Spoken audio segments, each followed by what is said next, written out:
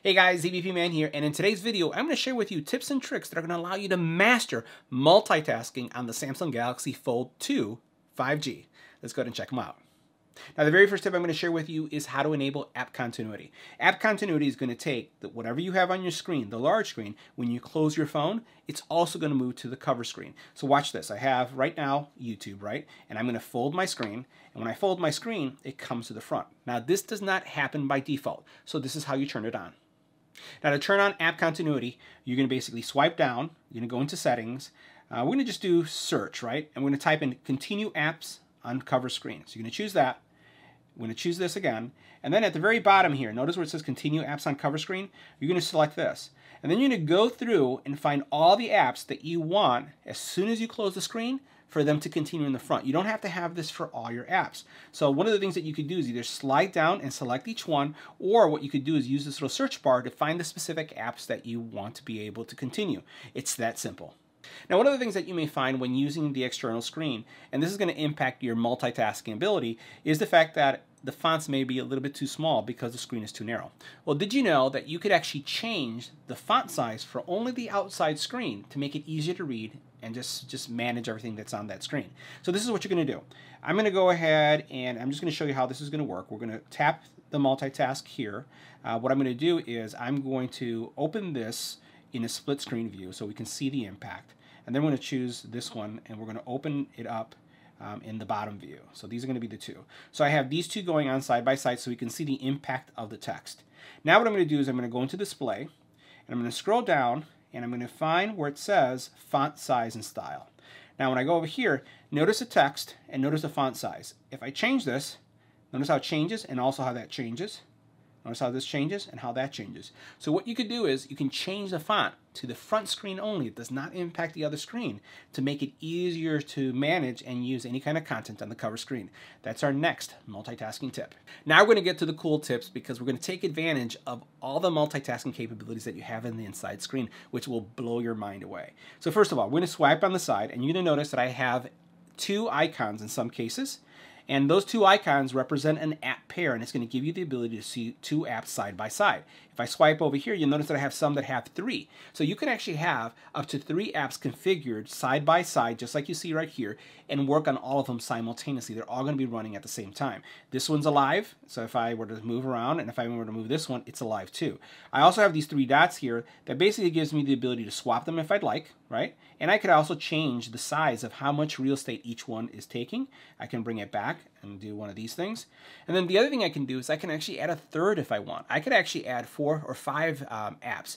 Uh, there comes a point where you can only have so many in each one of these quadrants, but you could also have apps overlaid.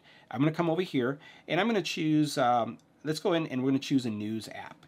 And I'm going to actually go back to where I was for a second because I saw one that I want right here, this news app.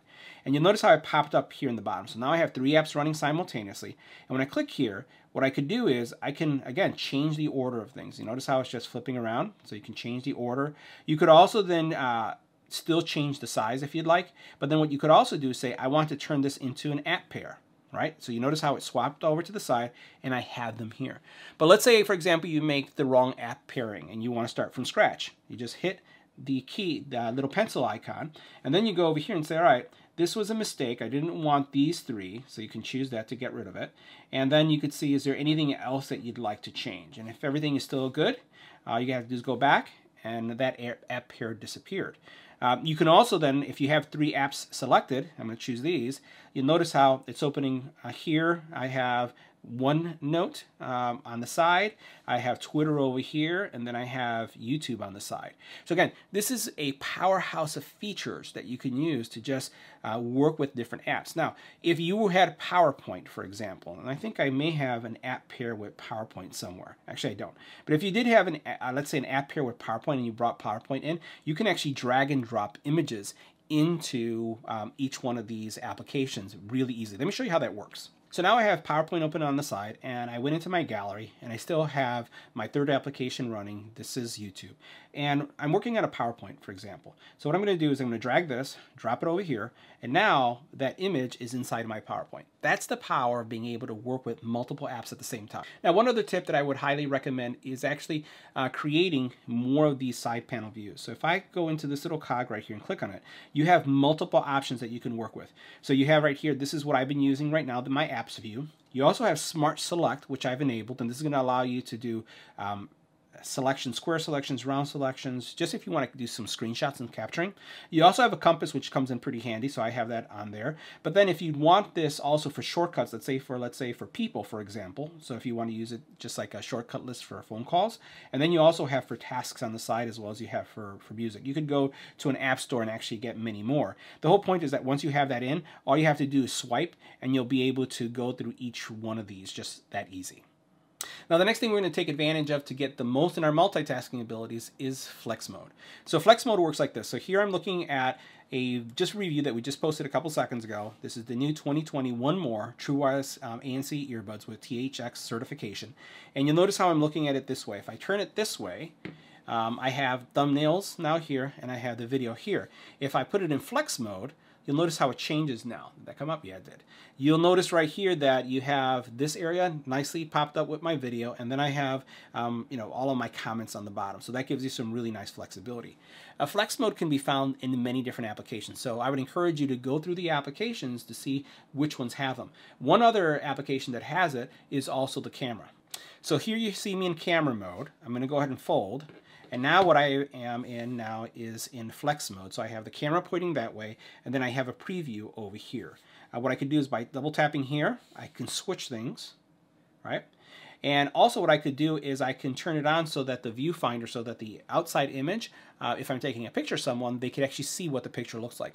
So flex mode is a really powerful tool that's going to enhance your multitasking capabilities. So guys, those were our tips and tricks to master multitasking for the Samsung Galaxy Z Fold 2. We have more tips and tricks coming on the channel, so stay tuned. Make sure you subscribe.